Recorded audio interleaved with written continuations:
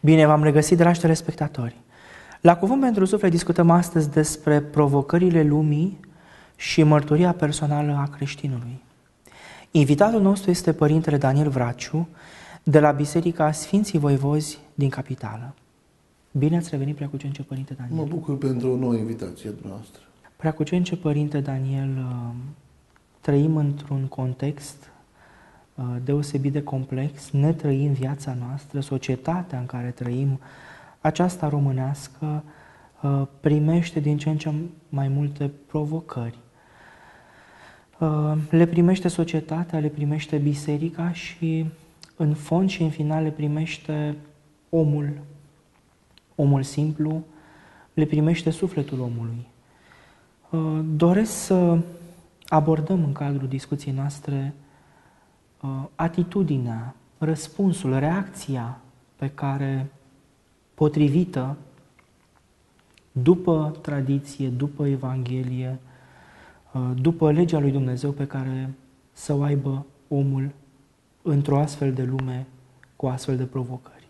Într-adevăr, ne aflăm într-un context uh, foarte complicat. Uh, zilele noastre sunt uh, pline de o avalanșă de, de, de provocări, venite mai, de, mai degrabă din lumea occidentală, spre noi, spre poporul nostru, care multă vreme a trăit în, în arealul său și geografic, și cultural, și duhovnicesc. Astăzi, când granițele s-au diluat,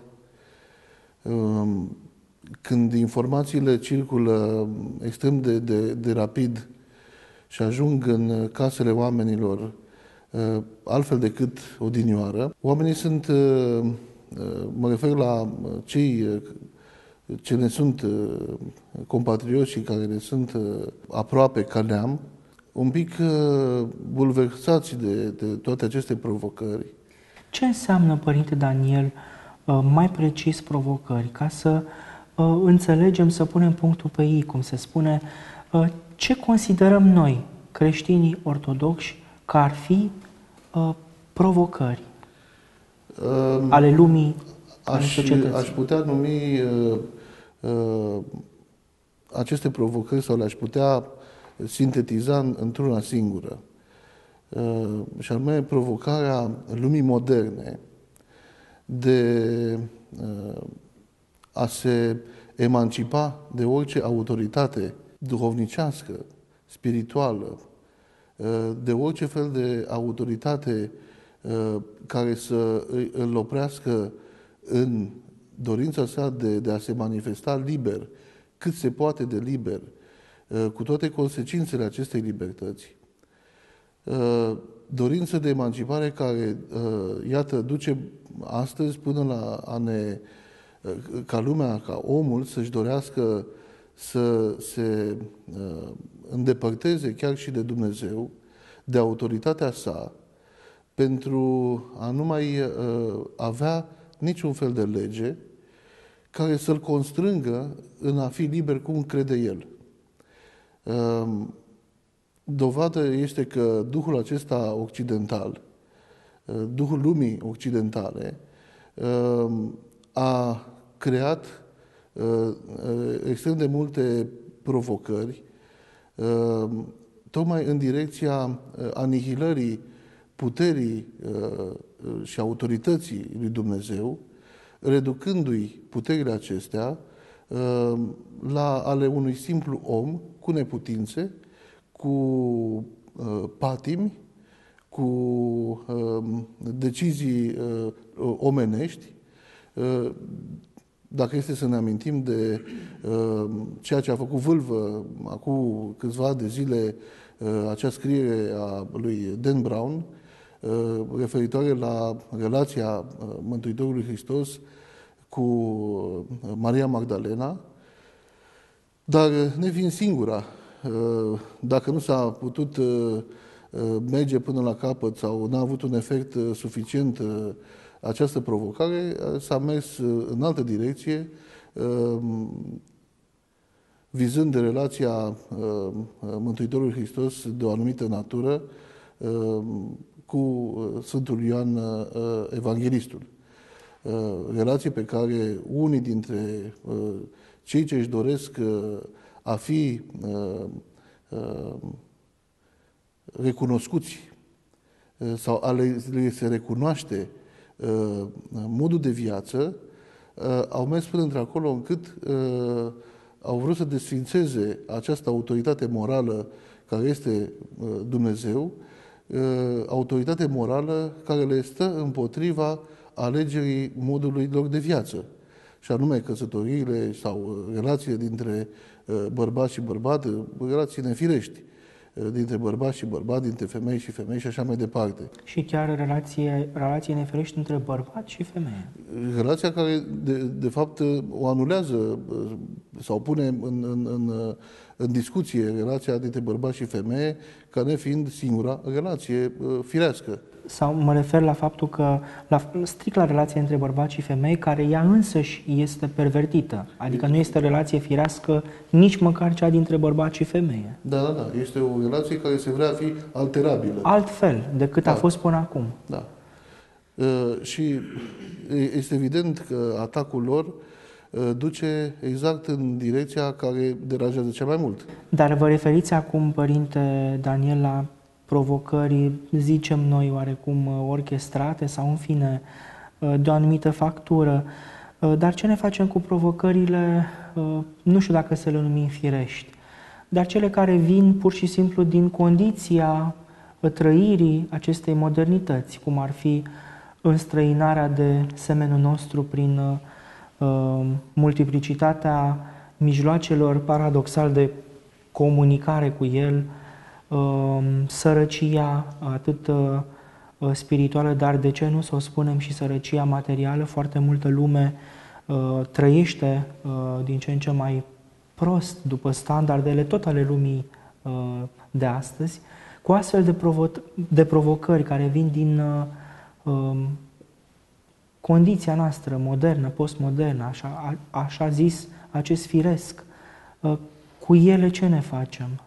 Creștinul este chemat să răspundă uh, acestor provocări.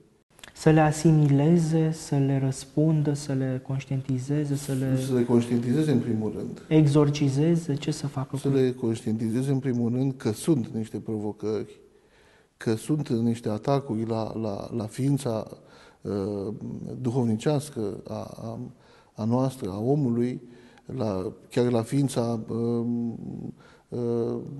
în, în întregul ei, de altfel, uh, a omului, uh, să le conștientizeze în primul rând ca fiind uh, niște atacuri și niște dorințe de alienare a unui firesc în care ne-am obișnuit să trăim până acum, chiar dacă nu am fost noi extrem de aproape de Dumnezeu sau nu am dat dovadă de o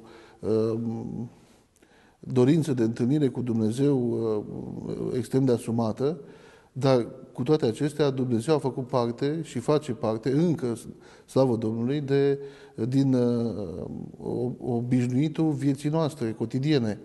Uh, când plecăm de acasă, spunem, un Doamne ajută.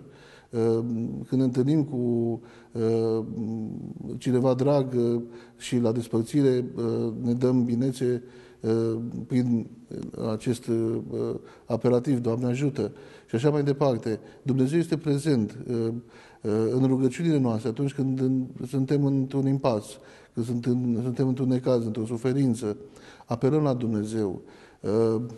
Biserica este, nu este ceva străin de noi. Este pretutindeni, o vedem la fiecare colț de stradă.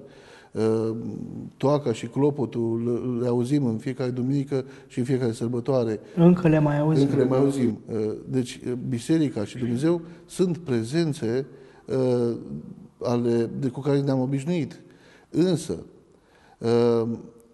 în egală măsură, Duhul acesta al lumii tinde să scoată pe om de sub această autoritate a lui Dumnezeu, tocmai pentru a-și crea propria lui viață independentă.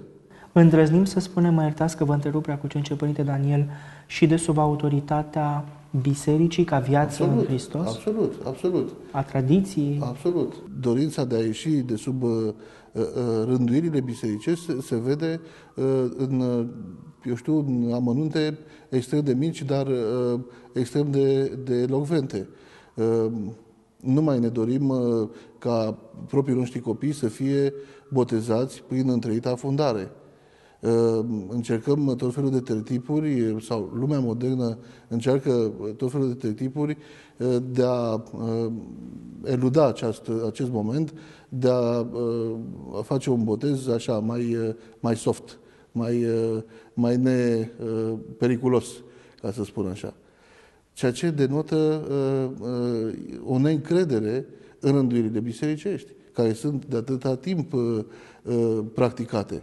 Nu sunt de astăzi și, uh, în primul rând, din partea noastră a oamenilor bisericii, în ceea ce privește botezul pruncilor, nu este o, o, o barbarie sau o, o, o, o satisfacție a noastră de a vedea că pruncul este afundat de trei ori în, în, în apă, ci Bine. reprezintă ceva. Acum ați dat doar un exemplu, ceea ce uh, ați amintit în legătură cu botezul pruncilor, dar uh, ce ne facem cu uh, ceea ce lumea consideră că uh, este bine ca provocare? Provocările ca generatoare de uh, reformă sau de răspuns din partea noastră. Am avut uh, situație numai uh, de mult decât uh, acum câteva luni, când anumite evenimente, lucruri nefericite, accidente cu răsunet la nivelul societății au fost privite ca generatoare neapărat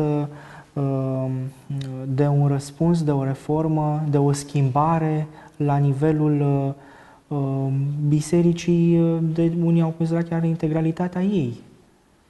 Ehm, da, datorită unei uh, comunicări, ehm, să-i spunem, uh, mai puțin fericite între uh, biserică și oamenii contemporani, ehm, s-a ajuns la, această, la acest, să-i spunem, conflict sau la această iritare din partea credincioșilor, dorind ca biserica să se comporte uh, într-un anumit mod mai deschis, mai uh, aproape de, de, de, de oameni. Adică întrebarea este în fața acestor provocări uh, trebuie să rezistăm neschimbându-ne sau trebuie să ne schimbăm? Că nu mă îndoiesc că multă lume cam așa ar formula, uh, știu eu, chiar tema uh, discuției noastre. Uh, sunt provocările generatoare de schimbări sau trebuie să fie sau le rezistăm cu stoicism noi ar trebui să arătăm uh, uh, lumii că uh, atunci când primim critici, nu ne întristăm, ci ne bucurăm. Ceea ce lumea nu se așteaptă. Este critica o provocare? E o bucurie. E o bucurie și este un prilej de a îndrepta înspre mai bine ceea ce făceai poate bine. Dar este cazul de a uh, face mult mai bine ceea ce făceai bine. Nu înseamnă că facem rău, ci înseamnă că uh, binele respectiv nu este suficient de uh, bine pus în, în, în, în vederea tuturor. Nu, nu toți beneficiază de acest bine pe care noi îl oferim ar trebui o, o deschidere mai mare a noastră, a oamenilor bisericii, către uh, cei care uh, sunt în afara bisericii, nu cei din biserică. Degeaba suntem deschiși către cei din biserică și care uh, au ales, într-un fel sau altul, să, să urmeze calea aceasta uh, a mântuirii și a întâlnirii uh, cu Dumnezeu, dar uh, ținta noastră trebuie să fie uh, către uh, samarineanul care este căzut între tâlhari, mai degrabă decât uh, către uh, semenii noștri care au și ei suferințele lor, dar care sunt ancorați totuși în uh, o viață bisericească, sunt, uh, dacă vreți, uh, ocrotiți, uh, uh, sunt uh, asigurați cumva uh, de o asistență uh, din partea bisericii uh, uh, elocventă atenția noastră trebuie să fie tocmai către cei care uh, nu sunt atenți la, la viața bisericii, la cei care sunt uh, cu spatele la, la viața bisericii, dar nu pentru că uh, au o atitudine uh, uh, de frondă, ci pentru că ei sunt răniți de întunericul din ei. Și sunt, de fapt, uh, um, oceanul mare din care, sau viitorii pești pe care îi absolut, pescuim. Absolut, absolut. Atenția noastră către ei și uh, modul în care uh, ar trebui să cucerim, uh, dacă vreți, uh, inimile acestor oameni, este uh, prin a, a le acorda atenție. Dar nu vreau să se înțeleagă, preacucence Părinte Daniel, că discutăm despre uh, un punct de vedere al uh, bisericii ca instituție sau despre un răspuns neapărat care să țină, de fapt, de o structură, de organizare, de o concepție, uh, cum avem noi chiar sinodală, ci ne referim mai degrabă la răspunsul față de aceste provocări pe care trebuie să-l dăm la nivel personal. Uh, și ați sugerat, de fapt, uh, în uh, alegerea titlului uh, și a temei uh, discuției noastre de astăzi, preacucencia voastră, mărturia personală a creștinului. Cum poate să devină mărturia mea personală răspuns unei provocări cum, este, cum sunt cele pe care de fapt le-ați enumerat până acum? Aici vreau să ajung, de altfel, la mărturia personală, pentru că noi suntem partea bisericii, noi suntem uh, mădularele bisericii. Biserica nu reprezintă numai clerul uh, bisericii și se epuizează uh, aici biserica. Biserica suntem toți cei ce am ales să urmăm chemării lui Hristos și care ne-am asumat acest drum către împlinirea poruncilor sale, către Uh, uh, drumul spre mântuire, drumul spre veșnicie și așa mai departe. Însă, într-adevăr, uh, mărturia personală a noastră ca și creștini, fie că suntem clerici, fie că suntem simpli creștini, este foarte importantă pentru că ea denotă o mentalitate. Dacă această mentalitate este una încrâncenată, dacă este una uh, judecătoare, dacă este una uh, la adresa lumii, uh, dacă este o, o, o, o mentalitate care arată cu degetul la, la greșelile celorlalți, da. ne depărtăm de, de, de fapt de, de ceea ce noi căutăm să fim, de fapt. Dar cum poate ea să nu fie în felul acesta judecătoare, critică față de uh, criticii sau detractorii creștinismului însuși? Uitându-ne la noi înșine. Uitându-ne la noi înșine și văzând uh, neperformanțele noastre, văzând căderile noastre, văzând uh, lipsa noastră de credință sau, uh, dacă vreți, uh, lipsa noastră de, de, de smerenie, lipsa noastră de uh, conștiință uh, eclezială, pentru că în momentul în care ne simțim ca apartenenți a unei biserici, Uh, a unei biserici și nu oricare biserici, a unei a biserici ortodoxe, înseamnă a asuma tot ceea ce înseamnă Biserica Ortodoxă, tot ceea ce uh, uh, uh, Sfinții Părinți ne propun ca, ca mod de viață. Uh, să nu credem că uh, suntem mai presus uh, de alții care nu fac acest demers sau nu sunt pe calea uh, spre, uh, spre Dumnezeu, sau nu sunt în, în Biserica lui Dumnezeu, așa, eu știu, uh, declarativ, uh, aceia sunt uh, demn de, de oprobiul nostru sau demn de judecata noastră sau de critica noastră. Din potrivă, ar trebui să vedem în noi limitele noastre, chiar în, în modul de a mărturisi credința de care facem de multe ori amintire că o manifestăm, să vedem în ce măsură reușim să fim toleranți, să fim îngăduitori, să fim iubitori față de cei care nu sunt ca noi.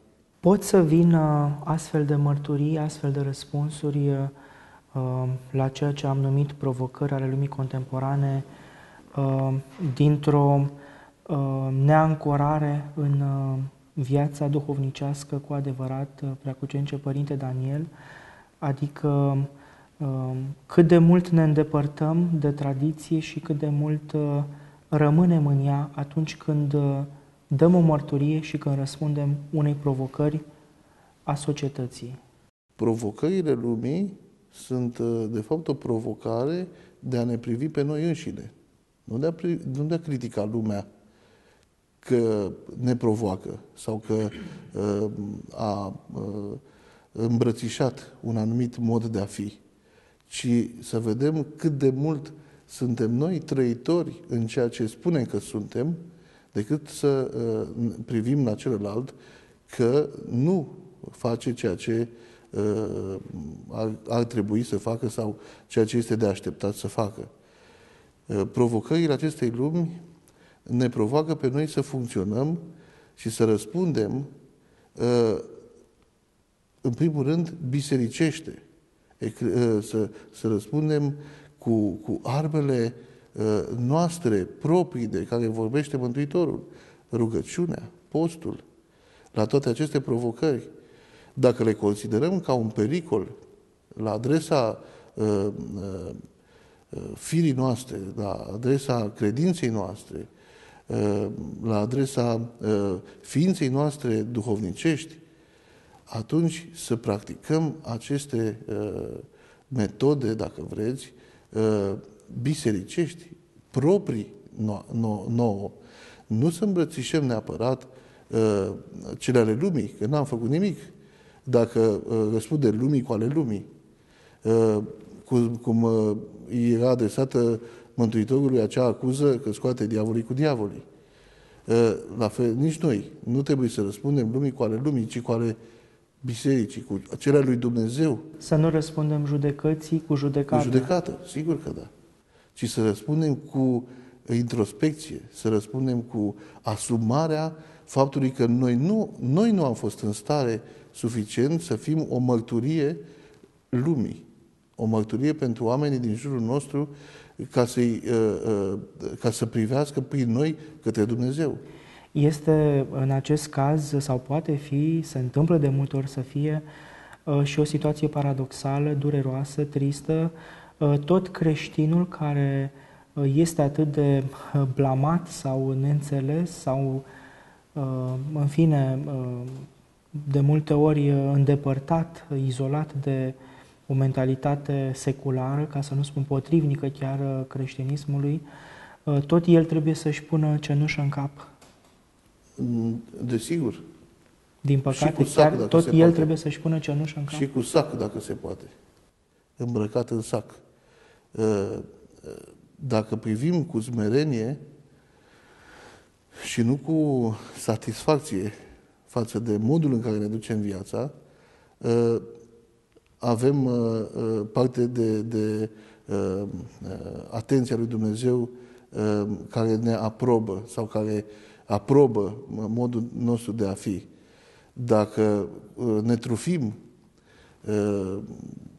considerând că suntem împlinitori ai uh, uh, tuturor rânduierilor sau uh, suntem uh, uh, pe calea aceasta uh, într-un mod uh, manifest, extrem de, de, de, de aplicat, uh, crești, uh, cu, cu, cu viață uh, duhovnicească ireproșabilă, uh, atunci greșim amarnic. E o logică a fariseului de care vorbiți aici. Sunt bine, dau zeciuială, fac tot ce e bine. Sigur, nici lucrurile acestea... Bine că nu sunt ca ei. Da, nici lucrurile acestea nu trebuie să lipsească, cum spune Mântuitorul, dar nu acestea să primeze. Dar în același timp, Părinte Daniel, mă iertați, nu, uh, nu cumva avem și datoria de a mărturisi încercând să catehizăm, să învățăm lumea, uh, să îndemnăm la îndreptarea vieții, la curăție, Cred că prin propria noastră viață am catehizat mult mai bine pe cei din jurul nostru decât uh, prin uh, viu grai.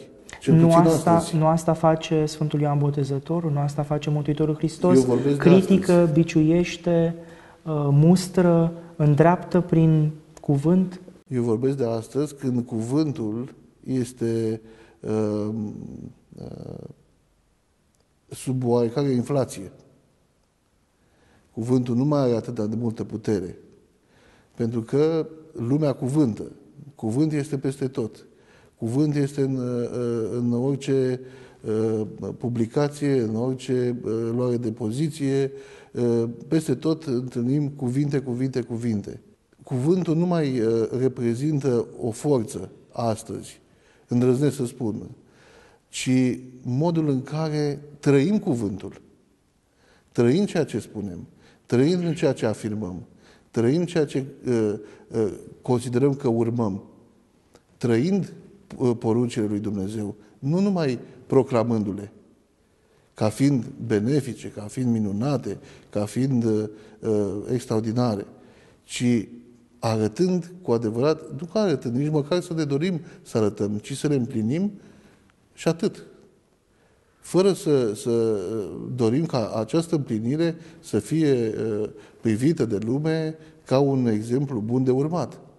Ci este, dacă vreți, uh, uh, întâlnirea noastră personală cu Dumnezeu, care trebuie să se desfășoare independent de ceilalți. Dar, în egală măsură, modul în care ne angajăm în această relație noastră cu Dumnezeu, cu siguranță care are uh, repercusiuni și are uh, produce uh, atenție, uh, uh, o anumit tip de atenție a celorlalți. Cum, de altfel, uh, uh, au provocat-o Sfinții din totdeauna, care au fost uh, uh, de la, de la a fi blamați până la a fi glorificați. Ceea ce spuneți e de fapt o întoarcere a provocării uh, noi creștinii care să provocăm Sigur, lumea. Cât, cât, de, cât de trăitori suntem noi înșine, dacă lumea este cum este, nu cumva și noi suntem alterați într-o oarecare măsură, nu cumva și noi, uh, și noi există elemente care să ne uh, ducă pe un, pe un drum aparent același, dar cu, cu puțin altfel decât uh, drumul care trebuie. Preacucence Părinte Daniel, vă mulțumesc. Din păcate am ajuns la finalul emisiunii noastre. Uh, vă mulțumesc pentru această discuție, pentru această uh, viziune, tâlcuire asupra a ceea ce înseamnă provocare, asupra sufletului omenesc, pentru ceea ce înseamnă reacția și răspunsul nostru și mărturia la provocările lumii contemporane. Dumnezeu să ne ajute. Dragi telespectatori, aceasta a fost ediția noastră de astăzi. Am discutat cu Părintele Daniel Vraciu de la Biserica Sfinții Voivozi din București despre provocările lumii contemporane și mărturia personală a credinciosului. Vă așteptăm data viitoare. La revedere!